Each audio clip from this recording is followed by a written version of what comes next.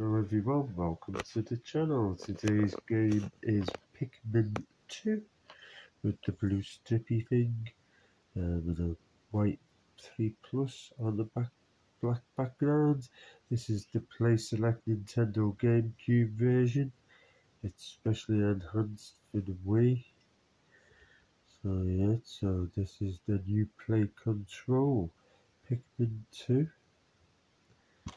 That's the back.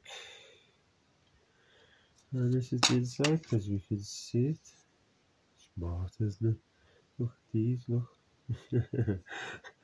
yeah, so this today's game is Pikmin 2 on Wii UK PAL.